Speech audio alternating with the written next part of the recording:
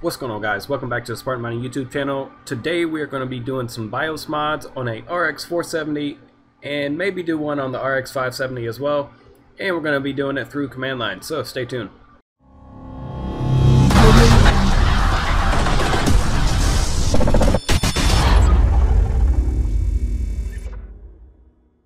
We are on the desktop here. I have uh, GPU-Z pulled up so you can see that is the RX 470 it's got Hynix memory, and then we can go ahead and swap over to the 570 so you can see that one as well. The 570 is an 8 gig model. It also has Hynix, but we're going to be focusing on this PowerColor Red Devil RX 470 that I have. That is a 4 gig model. So it does come with two BIOS switches. I've already tested both of them. I still get the same hash rate no matter what. But I've been wanting to do this BIOS mod by command line for you know a little while now. Also, there's been some people asking about it. But before we get into that, uh, I'm going to just do a test on it so you guys can see what the hash rate is beforehand, uh, before we actually do the BIOS mod to see if we get any kind of benefit. So I'll just go ahead and start up the uh, Ethereum miner that I have using Awesome Miner. So we'll just go ahead and start it up, see what our hash rate is, and then go from there. Not going to be doing any overclocks, we're just going to get the base setting to see what it is hashing out at.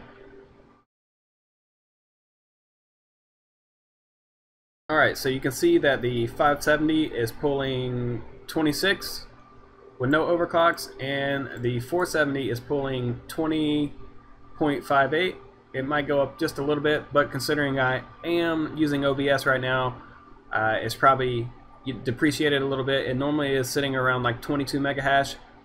So uh, that's that's what our baseline is going to be. We'll just say 20, and you know if we get improvement once we do the BIOS mod, then we can go from there. So we'll go ahead and stop this because we don't need Awesome Miner anymore. Go ahead and close this out. Go ahead and close this out.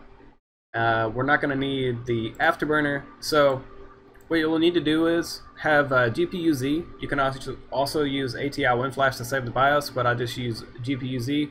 You'll click this little checkbox right here. You'll save the file, and then it'll bring it up.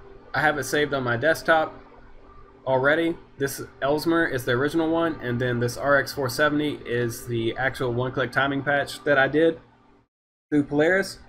But I will show you guys how to do that. So uh, just Alright, so once you actually save this BIOS, uh, you can save it on the desktop itself. I already have a folder for it. But one thing you're going to want to do if you're going to be using command line is actually move the uh, the modified BIOS to the ATI WinFlash folder, so we'll go ahead and do that. So I'll just copy, and then I'll go right here and paste it. And you will understand why we're doing that in, uh, in a little bit. So that's what you're going to want to do is make sure you actually have the BIOS file in the ATI flash folder. Also having it uh, ready accessible for using command line is going to be good. That way uh, it's not as hard to actually navigate through through command line to actually get to the folder. But we have that. We have the original ROM, and now we'll uh, bring up Polaris just you know so you guys can see that whole process. So once Polaris is up, just go into Open BIOS. Again, already have it on the desktop. Go to the original ROM, which is this Ellesmere ROM right here. This is for the 470. You'll just click Open, and then it's going to populate all the values for you. If you want to, you can mess with the megahertz, you can mess with the memory, and you know whatever else it is that you you want to mess with. So uh, right here, you can individually change the timing straps if you want to. However, I I have not done that. I, what I did was I just went ahead and did the one-click timing patch, which was clicking on the one-click part. Alright, so you can see once we hit the one-click timing patch, it just populated from the 1500 strap all the way to the 2000. If you don't want to use the one-click timing patch and you want to use something else, then you can just say uh, populate the 1750 and paste it to the 2000 line, save it, and then go from there. But once you do the one-click timing patch, you just go to Save As, go to that folder, name it something easy, that and also something that lets you know that this is the modified BIOS, and then you just save it there. So we don't need the Polaris BIOS editor anymore. We can close this out, and then the next thing we can do is actually bring up uh, the command prompt. So you can just go to your search bar or whatever and you can type in, you know, CMD and you gotta open it in Administrator. Alright, so once you get to this point, and you have the uh, command prompt open in Administrator, then you can click on the folder on your desktop that you have ATI WinFlash in. So the reason why you would want to try to use BIOS flashing through command prompt is if, let's say, you can't actually bring up the console screen for ATI WinFlash, it won't allow you to see the adapter, then this is another option that you can try. So you'll need your full file path, and what you're going to type in is cd space c backslash and then want to put in users whatever the full file path is going to be and then the folder name which is mine is ATI flash go so that's just what I'm going to put in. Press enter and then I am in that folder right now. So the next thing that I can do is is to see what adapters I have and to see where everything's located and you know which slot is the 470 which slot is the 570 and whether or not they have a working BIOS is you can type ATI WinFlash space dash AI press enter. It say it's flashing in progress. It's just getting all the information. It's going to populate this screen right here. So in adapter 0 you can see that I have the 4 gig RX 470 it tells you what signatures are on there. It tells you the image file that you actually have for your BIOS. And then for adapter 1, it tells you, okay, this is your RX 570 that you have in here that is 8 gig because I have one 4 gig and one 8 gig. You can eliminate a lot of hassle if you just have the one card in there. Then you don't have to worry about the adapter location. The adapter location is going to be important because once we actually get to the flashing phase, you're going to force a BIOS flash on which adapter that you choose. So it, it it's important that you don't flash um, a BIOS to the wrong card. Obviously, you don't want to break your card. So you don't have to worry about it if you have NVIDIA in here. It won't bring it up. You won't be able to flash the NVIDIA cards. So if you are running like a 1050 Ti in here or a 1070 or whatever the case may be for NVIDIA and you have a AMD card that you're trying to BIOS flash to the command line, it's not going to flash it. I've done it before. You don't have to worry about it. So this lets you know which adapter slot your cards are in. We know that mine is in adapter 0 slot. So we can go ahead and close this out. We can close this out. And then the next phase is going to Alright, so now it's how do you flash it?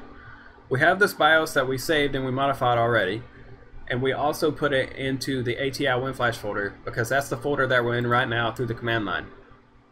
So what we're going to want to do is you're going to type ATI WinFlash space dash P space dash F zero for the adapter because we know that is where our RX 470 is. And then we need the file name which is rx470mod.rom so you're going to do rx470 mod.rom and then press enter. So it is now effectively flashing the video card as you can see here flashing in progress it may take more than a minute it's going through we got to restart the system for the BIOS to be updated so I'll do that. Once it comes back up, I'll come back to you guys and we'll see uh, see how it went. Alright, so we are back up.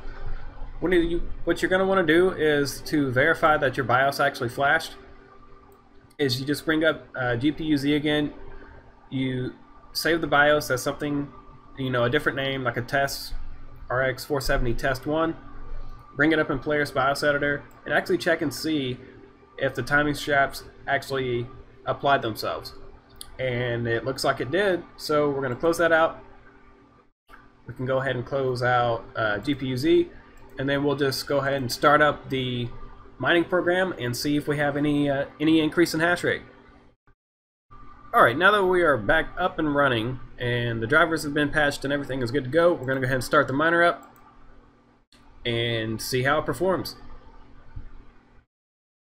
Both cards are recognized. MSI Afterburner is not on right now, so this is just strictly stock settings. As far as overclocks, But hopefully we're going to see an improvement on the BIOS mod on the 470. And it's looking like we are going to see an improvement.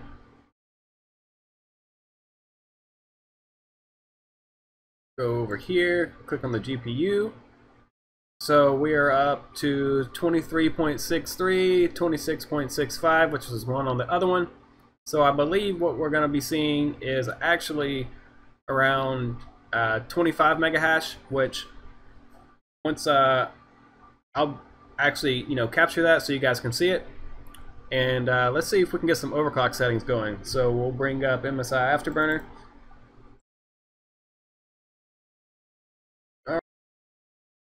Alright, so this is the 470. Let's see if we can bump up this clock. Uh, we'll just go up to 1850. Alright, 24.42. Let's see if we can bump up to 1900.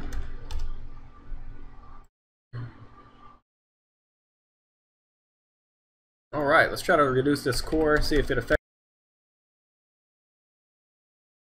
So far, so good. We can go ahead and adjust this uh, temperatures or the fan speed so you guys, you know, don't freak out too bad. We'll go ahead and adjust the 570 as well. Should bring those temperatures down quite a bit. So the 470 with the BIOS mod, we are at 25.37 while using OBS. Again, I'll shut OBS off and uh, get you know, some screenshots of the actual overclock settings. But this is also is the card that I'm going to be putting in the $500 budget rig build that I'm doing, which I'm going to be doing an update video tomorrow on that. So let's see if we can push this uh, this memory overclock just a little bit more. Let's try 1950 and see if it'll take it. Alright, well it's taking the 1950, you can see 26.19. And let's might as and let's might as well just put in a 2000 in there. It might crash it, and it looks like it is crashing it. Oh, maybe not. 27. 27 mega hash. We can back it back down just a little bit. 1950. Alright, so we had an effective BIOS mod on the RX 470 using the command line. Uh, that's going to wrap up this portion of the video. I will uh, put a link in the description uh, to the Discord, the Facebook, and the Reddit. If you come to the Discord, I'll have a channel set up so you guys can get everything that you need for BIOS modding. I'll have the latest version of ATI WinFlash, the Pixel Patcher, as well as Polaris BIOS Editor, all in zip files for you, so you guys don't have to worry about trying to go online somewhere and finding broken links. So make sure you check out the Discord. Again, I'll have the channel set up, so all you'll have to do is just go in there, you can download the zip files, and you'll be good to go. But with that being said, I think we're just going to leave it with just BIOS modding the RX 470 for today, and then we'll work on the 570 tomorrow. Or uh, who knows what we'll do tomorrow. But anyways, if you guys enjoyed this video, make sure you hit the like button. If you're new to the channel, please subscribe. Hit the notification bell so you can be notified as soon as a video comes out. And I think that's going to do it. So until the next one, guys, Peace.